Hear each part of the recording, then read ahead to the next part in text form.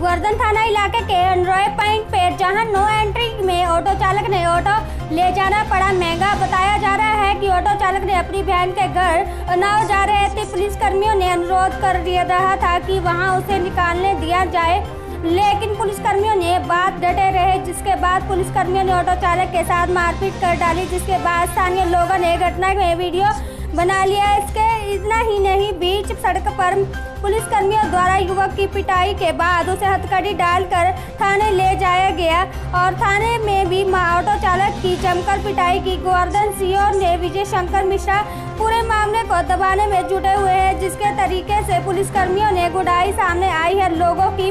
जुबा पर चर्चा का विषय बना हुआ है। बीच रोड पर डालकर जिस तरह पुलिसकर्मियों ने ऑटो चालक को जमकर पिटाई की है और उसके बाद हथकड़ी डालकर उसे थाने ले गए हैं और थाने में भी उसको जमकर पीटा है इससे साफ़ तौर पर देखा जा रहा है कि मथुरा पुलिस की गुडाई रुकने का नाम नहीं ले रही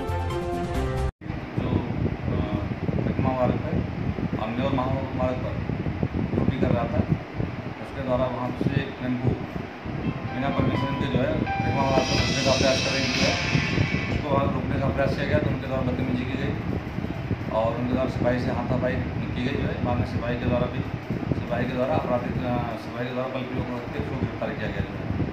क्योंकि एन का आदेश है कि परिक्रमा पर कोई वाहन प्रवेश न करने पाए उसी के अनुपालन में हम लोगों के द्वारा, जो है, परिक्रमा पर वाहनों का प्रवेश नहीं दिया जा रहा है। क्योंकि उस पब्लिक व्यक्ति ने, जो है, सिपाही से बदतमीजी करने का प्रयास किया, जो है, उसे हाथापाई की, जो है, तब और उसको सुला करके उसको बल प्रयोग करके उसको गिरफ़्तार किया गया। उसके सब्सक्राइब करना ना भूलें और साथ ही डेली अपडेट्स पाने के लिए बेल आइकन को